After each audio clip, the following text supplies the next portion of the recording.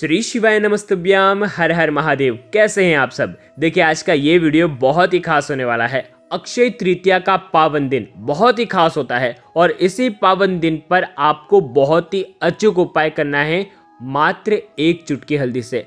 देखिए, आज के इस वीडियो में हम आपको दो महा उपाय बताएँगे जो कि आपको हल्दी से करना है अक्षय तृतीया वाले दिन, जो आपके जीवन से सारी समस्याओं को दूर कर देंगे। आपको तुलसी जी में एक विशेष चीज़ डालनी है। साथ ही साथ आपको अष्टदल कमल वाला उपाय करना है। ये दोनों उपाय एक चुटकी हल्दी से हो जाएँगे अष्टदल कमल वाला उपाय आपके घर में अष्ट लक्ष्मियों का वास कराएगा। ये उपाय तो सबको करना चाहिए, बहुत ही खास है। आपके जीवन में धन की वृद्धि होगी, आपका दुर्भाग्य दूर होगा और आपका जीवन सौम्य हो जाएगा, सरल हो जाएगा, पवित्र हो जाएगा। बहुत ही खास तिथि है, बहुत ही बड़ी तिथि है, वैशाख महीने की सबसे पवित्र तिथि है। इसीलिए आपको ये उपाय ज़रूर करना चाहिए। पूज्य गुरुदेव की ही कथा सुन करके, समझ करके समझाने का पूरा प्रयास करूँगा, लेकिन उससे पहले वीडियो को लाइक करें और भगवान शिव के यदि आप सच्चे भक्त हैं तो चैनल को ज़रूर सब्सक्राइब करें।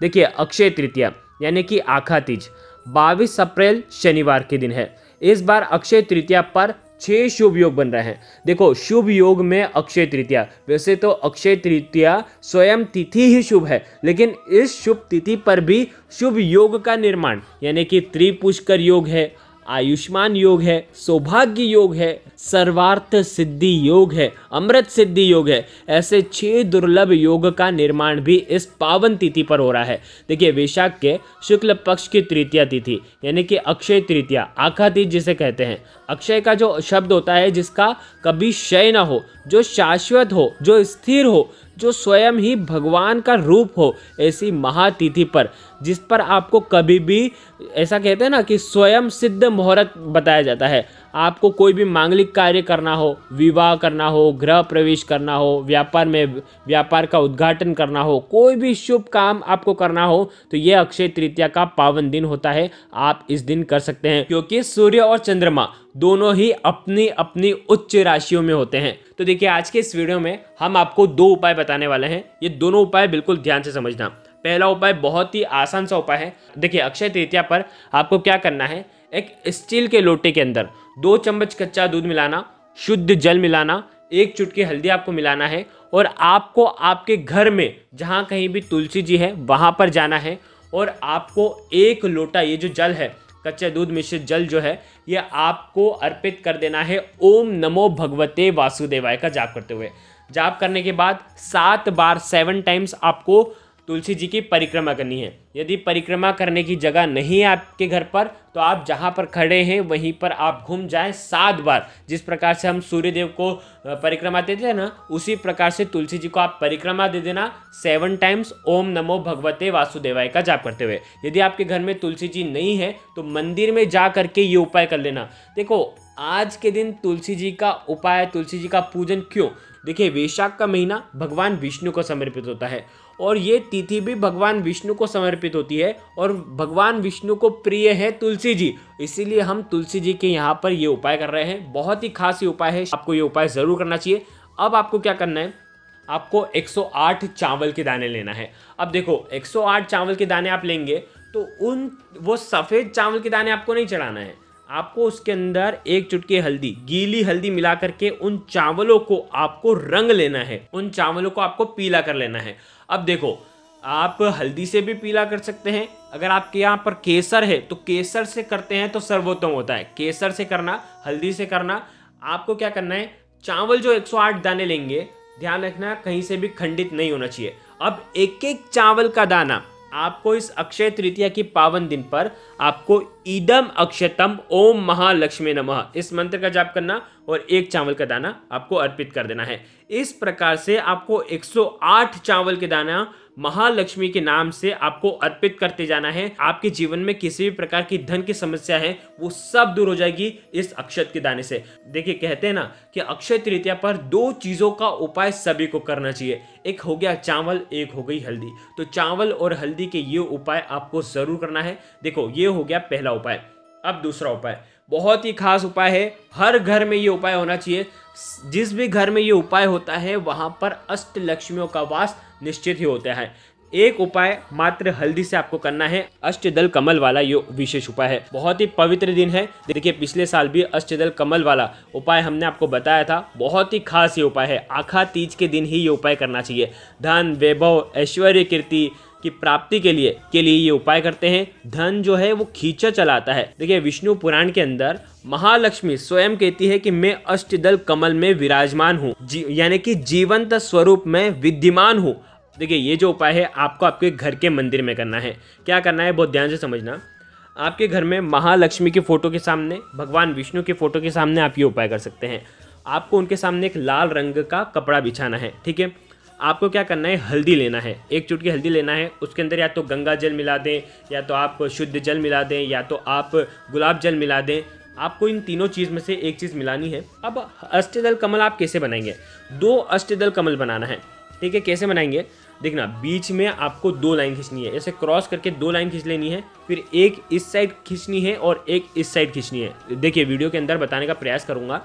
उसके बाद आपको इस प्रकार से कोने बना देना है, ठीक है? इस प्रकार से वीडियो के अंदर बताने का प्रयास कर रहा हूँ। इस प्रकार से ये अष्टदल कमल हो गया है। ये आप देखेंगे ना तो आठ बक्से इसके अंदर बन चुके हैं। बीच में जो सेंटर पॉइंट है, यहाँ पर आपको कुमकुम की एक टिक्की लगा देनी है। ये हो गया अष्टदल कमल बन करके तैयार। इस प्रकार से दो अष्टदल कमल आपको बनाना है।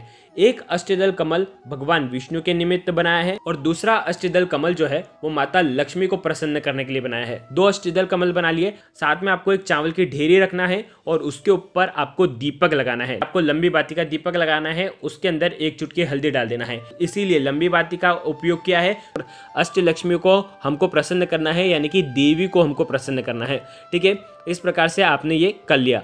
अब आपको दीपक आपने प्रज्वलित कर लिया। अब आपको क्या करना है? महालक्ष्मी के मंत्रों का जाप करना है। ओम महालक्ष्मी नमः, ओम श्रीम नमः। ये दो मंत्र हैं, प्राचीन मंत्र हैं, बीज मंत्र हैं। दोनों में से जो जो मंत्र आपको सरल लगे, वो आप जप सकते हैं। 108 बार 1008 बार भी अगर जपते हैं तो बहुत ही अच्छी बात है। यदि आपको कोई और मंत्र आता है, बड़ा मंत्र आता है, वो भी आप जप कर सकते हैं। अब आपको लक्ष्मी चालीसा का पाठ करना है, विष्णु चालीसा का पाठ करना है, विष्णु सहस्त्र नाम का अगर आप पाठ कर सकते हैं कनकधारा स्तोत्र का यदि आप पाठ कर सकते हैं शिशु तक का पाठ कर सकते हैं तो आपको करना चाहिए और विशेषकर अगर आप ये कुछ भी नहीं कर सकते ना तो अष्ट लक्ष्मी स्तोत्र आपको सुनना चाहिए। दस मिनट का होता है अष्ट लक्ष्मी स्तोत्र। अगर आप इंटरनेट पे भी सुनेंगे, मोबाइल से भी सुन लेंगे तो भी चलेगा। अगर आप खुद पढ़ सकते हैं तो बहुत ही अच्छी बात है। अष्ट लक्ष्मी स्तोत्र का आपको श्रवण करना है। आपके कानों में वो स्तोत्र जाना चाहिए। आप जब ये स्तोत्र सुनेंगे, तब आप हो सके तो अष्टदल कमल को निहारना। ये अष्टदल कमल अष्ट लक्ष्मियों का वास कराता है। स्थिर लक्ष्मी, वैभव लक्ष्मी, कीर्ति लक्ष्मी, इस प्रकार से अष्ट लक्ष्मियों का वास आपके जीवन में कराता है। तो आपको अष्ट लक्ष्मी स्तोत्र तो ज़रूर सुनना है। अष्ट लक्ष्मी स्तोत्र सुनने के बाद अब आपको क्या करना है? वापस से आपको हल्दी लेना है। और आपको आपके घर के मंदिर में दीवार पर, पूर्व की दिशा की तरफ़ आपको दीवार पर यह अष्टदल कमल एक और बनाना है। यानी कि दो आपने लाल कपड़े में बनाए थे और एक आप दीवार पर बना रहे हैं आपके घर के मंदिर में, ठीक है? अब आपको अंत में क्या करना है? दीपक से आरती करना है। किसकी आरती करेंगे? माता लक्ष्मी की आरती करेंगे। उसके बाद जो अष्टदल कमल आपने दीवार पर बनाया है उसकी आपको आरती करना है। जब ये उपाय करेंगे, आपके घर के मुख्य द्वार खुले होने चाहिए, ठीक है? बंद घर में ये उपाय मत करना, क्योंकि इसका कोई फ़ायदा नहीं होने वाला है। देविक शक्ति आपके घर में प्रवेश करेगी तो वो मुख्य द्वार से ही करेगी। या तो आपके घर की गैलरी का आप गेट खोल देना, आपकी छत का गेट खोल देना, कहीं से भी देविक शक्ति वहीं से ही प्रवेश करती है। तो आप क्या करना, इस प्रकार से खोल करके आप ये उपाय करना। अगले दिन। बहुत ध्यान से समझना। ये अष्टदल कमल इतना खास है कि आप जब रोज दीपक लगाते हैं, तब इस अष्टदल कमल को भी आपको दीपक दिखाना है।